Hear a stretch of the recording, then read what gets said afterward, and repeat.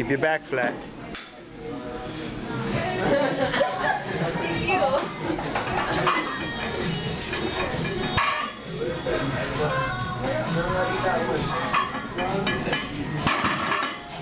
You alright? Oh, alright.